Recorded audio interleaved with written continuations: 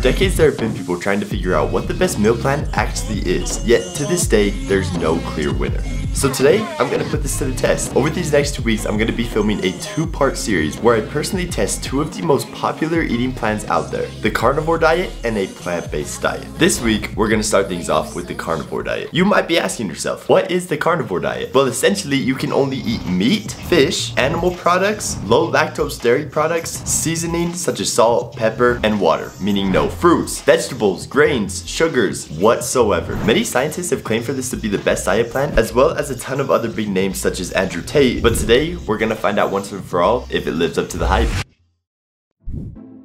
Alright, ladies and gentlemen, it is currently 8 p.m. Monday, January 29th, meaning I'm officially beginning the challenge now. So, why is it 8 p.m.? Listen, I put this meat in the freezer without even thinking, and it was rock solid. I got home at 6 o'clock, I go, oh, frick. Now this meat has been defrosting in this warm water for the past two hours. So I got my pan heating up right here. This is not a cooking steak tutorial, just so you all know. I've cooked probably one steak on my own in my entire life. Didn't turn out great, so this is gonna be this is gonna be a fun game we're gonna play here. I'm hoping by the end of this challenge, I become a better chef at cooking meat because bro, cooking meat is extremely difficult, I feel like. So hopefully by the end of this, your boy Loki be whipping up something clean. All right, first things first, we're starting off with some olive oil in the pan, extra virgin like your boy. We got this pan warming up. We want this boy hot and hopefully this doesn't splash all over me. I didn't think about that. Oh, I believe that much would be sufficient.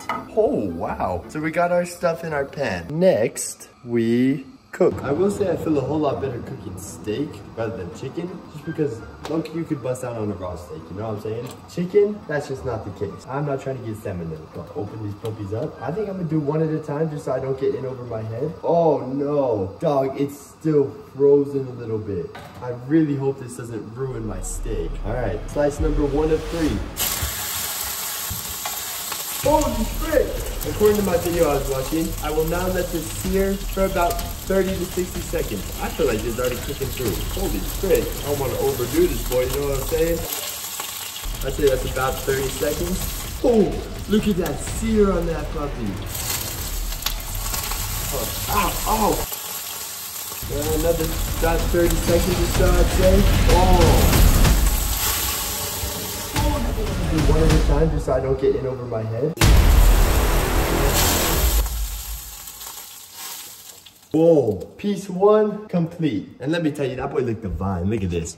Now we got two more to go. Bro, I just realized I'm a freaking idiot. I didn't season them. For some reason in my mind, I was like, oh yeah, they're just ready to go on. Nah, I didn't freaking season them whatsoever. So this first one's gonna taste like dog. Meal number one of the challenge, baby. Look at them boys. Hopefully they're cooked up about medium rare.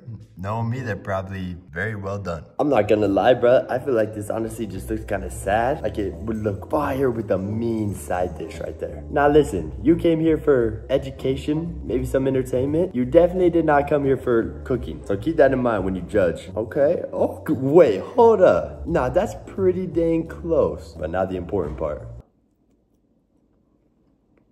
Bro, Oh, that's pretty freaking good. Mmm, okay. I low-key killed that. So I got about a, just under a pound of steak in front of me. So we eating good tonight, baby. I'll see you once this is in my tummy. Mmm. Bro, I'm not gonna lie. That filled me up way more than I was expecting. And it was delicious. Tomorrow for breakfast, I got no idea what I'm gonna eat. I probably should have thought of this prior, but we're gonna play it by ear. All right, so I'm gonna get a weight both at the beginning and the end of this challenge. I don't know if I'm expecting any weight loss or gain. Who knows, maybe there will be a tangible number that we get from the scale. Let's find out. Weighing in at 163. So I am still down a lot from my no eating video as well as being sick and traveling, but 163. Also, some people were saying those weren't accurate measurements. You're wearing thick wool socks so it don't count as weighing in. Listen, I ain't showing my dogs off to the whole internet. So I'm gonna wear socks every single time I weigh. So it's an accurate measurement because it's constant every single time that I weigh in. So if it really bugs you that bad, take about 0.2 pounds off for the socks. Thank you. I'm also gonna continue to take all of my vitamins that I normally take on a weekly basis during this challenge. My body's gonna be needing these especially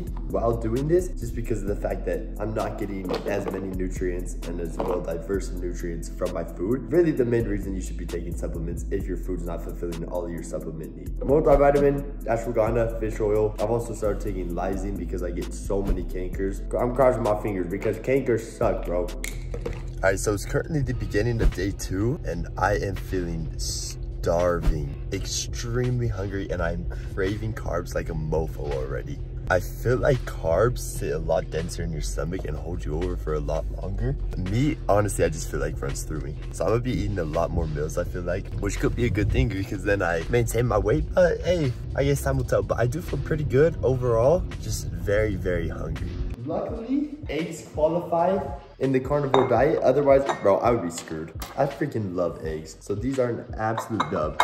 I think I'm gonna just do three eggs for breakfast today. Whip them up, I can't do any cheese. I can do salt and pepper, no cheese though, which is very unfortunate, but we're gonna see it through.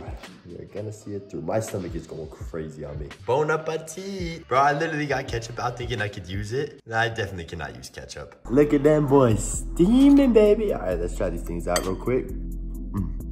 Mmm. I'm not gonna lie, bro, they still hitting. 10 out of 10. 10 out of 10 eggs. Another day in the books, ladies and gentlemen. I just finished with my last meal of the day. I just effed up some bratwurst. I'm not gonna lie, they were freaking delicious. I microwave them, which isn't really ideal, but bro, they were amazing. It would have been really great if I could have some ketchup or something on them. Today, I was driving past KFC. Oh my gosh, bro. A chicken sandwich from there sounds so freaking good. I've really been craving carbs, extremely craving carbs, but overall, I'm actually feeling pretty good. Like I haven't been getting a ton of sleep these last few days, which is pretty normal for me, I've been feeling like pretty energized still, which is pretty nice, I can't lie. I haven't weighed in yet. I'm gonna not weigh in till the end of the challenge just so it's a little bit of a surprise and more shocking, but I don't feel like I've lost that much weight. My workouts, they're going decent. I don't really have like a carb boost, if you know what I'm saying, for a little bit of energy, but overall, we're making it out alive. Oh, so I officially have two days remaining in this challenge before we go on to part two. It's currently breakfast time. I'm about to make my eggs once again, and let me just say, I am freaking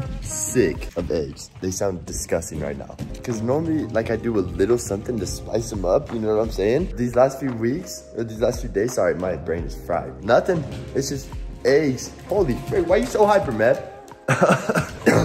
these last few days. Um, so yeah, it's getting very repetitive. Currently, I am freaking craving carbs. Holy frick. Shredded chicken quesadilla from Cafe Rio. That's what I get for lunch every day normally. Holy, I would F one of those up right now. Today for my lunch, I packed a strip steak, which sounds delicious, except there's no microwave where I work, so it's cold. Hmm. yummy, yummy. All right, ladies and gentlemen, we are weighing in here on the final day. Okay, 161. So that's really not too horrible at all. I was actually expecting a lot more. But if you put all of this into consideration of what I normally weigh, around 175, it's a big drop from these challenges. I'm very curious to see how plant-based does me because I have a feeling that's gonna be very, very low calorie and hopefully it doesn't drop me into the 150s because that, that's catastrophic. That is horrible. Huh. Ladies and gentlemen, day number seven. This challenge is officially complete. So let me give you a brief update of how I feel. Honestly, it sucked horribly. I lost a little bit of weight, which honestly I kind of expected because it is technically a diet plan. I think the main reason I lost weight is because I couldn't get as many calories in because it's harder to make the meals. It's not as clean. So I think that's the reason I personally lost weight and maybe that's the reason people who are trying to lose weight go on this diet plan because it constricts you to eating less. This could just all be philosophy and it could not be true whatsoever. That's just kind of my stuff I gathered from doing the challenge. I felt great during the challenge. I had very minimal brain fog, pretty good energy depending on the day but overall, I think this is a very viable option. But that being said, is it the best option? I'll see you next week for part two of the series where we test out the plant-based diet and see once and for all which diet plan is the best. Like, comment, subscribe. I'll see you next time. Peace.